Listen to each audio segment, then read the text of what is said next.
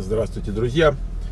У нас эм, комментарий на канале такой меня тронул. Я подумал, надо поговорить на эту тему. Человек говорит, вот, Михаил, как у вас там красиво, там небо голубое, там зеленюшки, а, вот, а у нас все какое-то блеклое, и там поля блеклые, и деревушки покосившиеся, и в общем все такое. Эм, я хочу сказать вот что. Эм, я когда молод, помоложе был, эм, любил с рюкзачком в компании, в хорошей, значит, там потопать. Мы все, все Подмосковье исходили. Я даже учился в школе гор, инструкторов горно-пешеходного туризма и так далее. И вот в соревнованиях участвовал э, по спортивному ориентированию, ночному, там бегали мы по ночам. Э, и к чему я рассказываю? Что вот в этой вот блеклой, как там говорят, э, природе, есть свое очарование, да, вот э, как у Пушкина, да, унылая пора, очей очарование, понимаете? Человек энергетически связан с местом своего рождения, энергетически. Вы не можете это изменить. Понимаете, на, мы, наш дизайн такой, что мы связаны с местом рождения. Поэтому э, я, я, честно говоря, даже не знаю, э, например, место, где бы мне хотелось больше там провести отпуск или там погулять и так далее, чем, например, Подмосковье. Если бы, если бы не вот, я извиняюсь, люди, которые там живут, и которые вот так делают, что не хочется туда приезжать и, и не хочется там находиться и иметь дело со всей этой системой, да, э, которая как бы является порождением вот этого общества. А, а так, с точки зрения вот кустиков, там, речек и так далее, я, я бы о другом и не мечтал никогда, честно. То есть вот для меня средняя полоса это просто э, как бы высшая мера, так сказать, э, удовольствия Э, чтобы там находиться. Это не значит, что я не могу получить удовольствие, там, допустим, от э, такого пейзажа типа там южного берега Крыма или там Мексики или Канады или там Аляски. Ради бога, я, я с удовольствием э, путешествую и наслаждаюсь тем, что я вижу.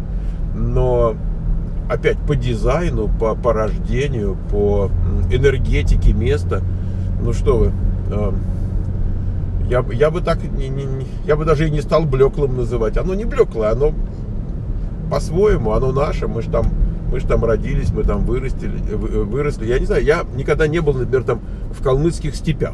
Я не знаю, как бы я воспринял. Но вот, например, я был в пустыне Аризонской и, и в Невадской. И у меня невероятная вибрация там вот, вот на, на, на такие места. Я просто а, мне, мне тогда кажется, что я там родился и там и вырос, и что это как-то такое очень мое, и хочется там на лошадь скачить там и это, поскакать. Но, но это так, умозрительно. Я, я никогда там не жил так проездом и на лошади не скакал. И там, в общем, такого. Но, но, но как-то вот есть какая-то вот, эти, вот, вот вибрация какая-то есть, клик, как у нас говорят.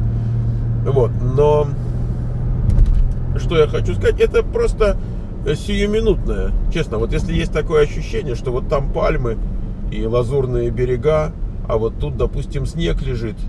Э, снег это так классно вообще, я, я не знаю. Я, я когда жил в Москве, э, вы понимаете, что это большой город, и что, например, даже зима, она не безумно удобна для жизни, потому что зима это когда э, тает снег, Особенно, когда ты вот там тебя припорошило, ты еще в метро зашел, в метро мокро, внутри, когда заходишь на станцию метро, там такое месиво жидкое и так далее. То есть, как бы в большом городе э, зима неудобна. Но, например, я помню, что мы последние годы э, ездили частенько, значит, там не на юге, а на юго-востоке Москвы, вот туда, в ту сторону, за Троицком там было, было такое, я не знаю, деревня, поселок, как, как назвать, Михайловское это место называлось. И там была дом отдыха, что ли, санаторий, база, я, черт его знает. В общем, эм, поскольку я работал в системе профтехобразования, то вот там какое-то было вот учреждение системы профтехобразования, и там зимой как раз вот э, можно было поехать там на недельку, и вот мы ехали с ребенком, и там лыжи, и все дела.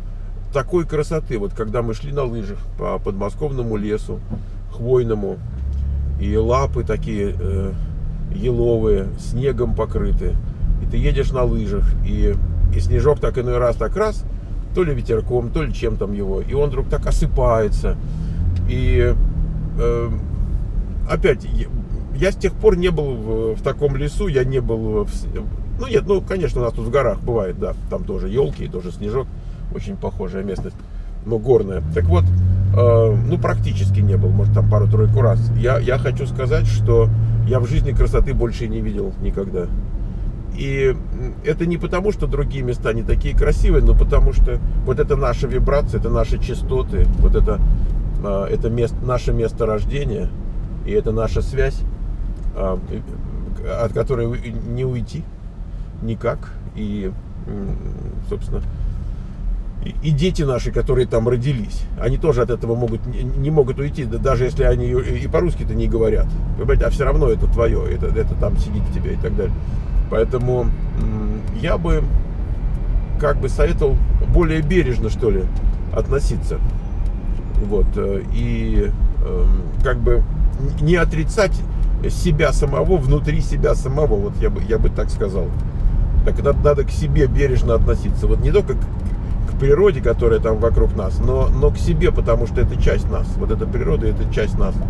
И мы такие, как мы, потому что мы родились, и там была вот эта природа. И даже если она нам не нравится, все равно она в нас. Вот так же, как мама с папой. У вас может быть какой-то конфликт с родителями, но все равно вы как бы продукт, так сказать, их совместной деятельности.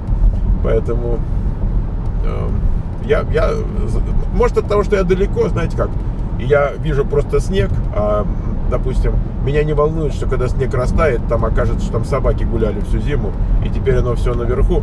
Поэтому я, я конечно, вспоминаю вот э, красивый снег, пушистый, и там еловые лапы и так далее. Это, может быть, у меня более такие розовые воспоминания, я не знаю. Но, во всяком случае, так, так, такие соображения. Счастливо!